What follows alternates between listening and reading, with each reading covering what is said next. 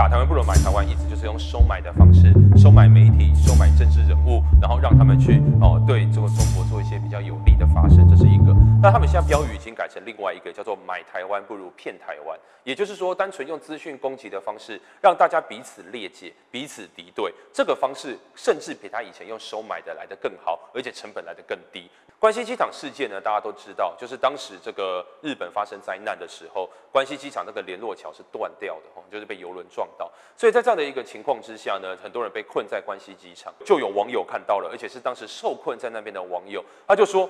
中国竟然都可以接人，那台湾的人，台湾的这个大阪办事处到底在做什么？他就发文发在 PTT 上面，那最后呢也造成这个事件的爆发，然后整个舆论都在谴责说我们的政府到底在做什么？那这样的一个关西机场事件呢，其实它整个源头就是一个很标准的中国的资讯攻击。台湾的新闻爆发是在九月六号，那个时候是第一次台湾新闻爆发，苹果日报第一次报道，这个风向整个被带起来。带起来之后呢，这个政论节目呢有几个记者就把这个东西拿到政论节目讲，开始批评现在的政府，然后最后就变成这个新闻的标题，然后全台湾就知道，在这个关西机场事件，我们政府的不作为。这苹果日报后来就把这个删除了，为什么？因为他们很快就发现这是一个假消息，所以当时呢，我们一直往前追，就追到微博。那里面有呢，有一个叫做洪水猛兽 baby 这样的一个网红。这个微博的 po 文，大家可以看到非常有趣的地方，就是下面这个 tag，他 tag 的人民日报跟新华社，这个还算正常。为什么？因为你本来就可能会 tag 一些主流的报纸，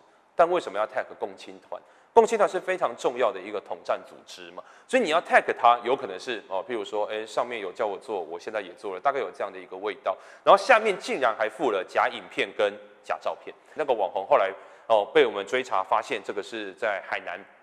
电视台工作的这个新闻从业人员，吼，那他们假装是这个所谓的这个网红，用第一人称来叙述中国的内容农场，就中国的网站，这个叫做观察者网，就把它故意做成新闻，然后下面呢就做了一个非常重要，也就是现在我们很难追查到的一个微博的贴文，他故意把账号遮住，上面写了一句非常重要的话，就是。台湾人说自己是中国人才可以上车，也就是这边把对台湾的统战把它放进去，这个叫做网红模式。他第一个先由这个所谓的微博的网红先去写一些主观看起来好像真实的叙述，那个影片都让别人感受到叫做第一手，就是诶，这个第一时间的见证一定是最真的。再借由这个中国的网站把它制作成新闻，然后最后再打入到台湾的言论市场。这轮节目就一定会拿去讲，大家知道这轮节目其实很多偏颇新闻的一些来源，他把这个拿来讲，讲完了之后呢，极大化之后呢，对政府做了攻击，到最后他们在这轮节目讲的东西就变成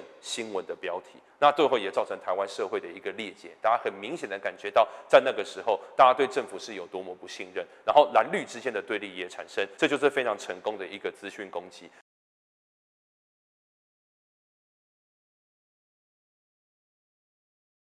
怎么在一般的情况之下，没有大灾难的时候，你也没办法制造假新闻的时候，你单纯只是要用偏颇的资讯来做攻击，有没有比较更有效率的方式？那就是现在我们要讲的这种社群媒体攻击。各位就是不知道有没有听过密讯这样的一个网站？那或者说你有没有听过鬼岛赞新闻？鬼岛赞新闻跟鬼岛狂新闻还不一样哦。那有没有听过讲东讲西？或者有没有听过江湖百小生？如果你都觉得你没有听过的话呢，那就表示它的分层受众都已经做得到。因为有一些人，他们一天看到是看到二十则以上，那就是很明显的一种资讯攻击。就是有一群人，他永远都是看到这些讯息，然后你看的当然可能就是另外一组哈。比如说，你可能看到一些台湾新媒体的一些新闻，所以两边看的那些资讯是完全不一样的时候。那到最后要讨论事情，一定会陷入纷乱嘛？那就是一种很成功的资讯攻击。所以，当你今天被社群媒体或者说被资料搜集的公司能够去特定出来你是怎样的一个人，他就知道要喂你什么资讯。那更不要讲说台湾人很喜欢点，呃，譬如说宠物的影片，可爱的小狗、可爱的小猫。当你点了这些影片赞的时候，那些影片它可能都是伪装的。它今天先给你看一些可爱小狗、小猫的影片，但是到选举前的时候，它就会变成跟选举有关的影片。第一步就是我刚刚讲的，他先经营网站，经营网站呢，把台湾的新闻全部贴过来。这个说真的不需要花太多的心力，然后再来呢，要么就是自己改，要么就是请别人改，把标题改成各式各样偏蓝的、偏绿的、偏保守的、偏自由的，各式各样不同的耸动标题。那这些耸动标题做完之后呢，就要想办法送到。我们台湾人的眼中送到手机上面，在这个第二个步骤，它要怎么打入台湾市场？这个步骤，第一个，它一定要利用社群媒体。因为社群媒体多多少少可以让你下广告啊，可以帮你算受众啊，所以它可以有效率的把你的资讯散播出去。但是他在经营这些我说粉丝专业或者社团的时候呢，他就会同步把我刚刚讲的偏颇新闻不断不断的丢到这些。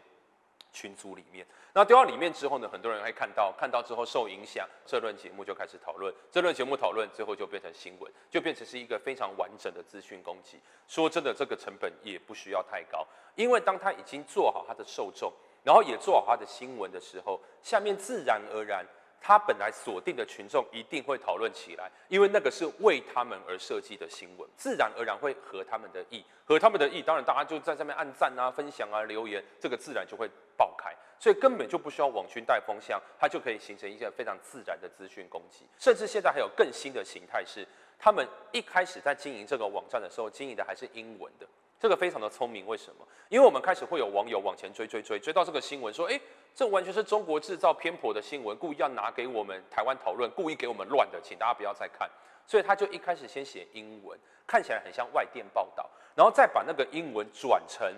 呃中文的新闻报道，然后再转成繁体中文的新闻报道，然后再往下按照我刚刚讲的模式打进去。所以当你一般人不太懂的时候，你往前追追到就是一篇英文报道，那最后一篇英文报道，一看也会觉得，哎。还蛮正常的啊，有记者的名字，然后有网站，然后看起来旁边也有热门新闻，你看起来一切都会觉得它是一个非常正常的新闻散播，你就不疑有它。但其实连那个外国的英文的媒体都是中国制造出来的，所以像这样的一个攻击模式，对一般人来讲变得就更难判断。